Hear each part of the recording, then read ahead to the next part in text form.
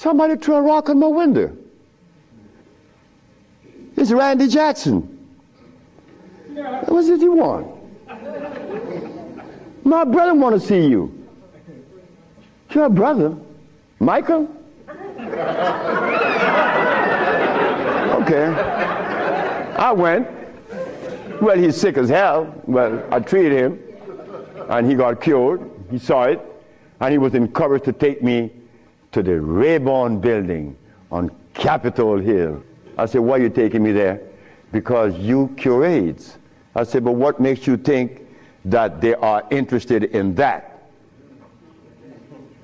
What makes you think that the world is interested? I don't care if it's any country in the world, they are not interested. Especially Africa. They were never interested.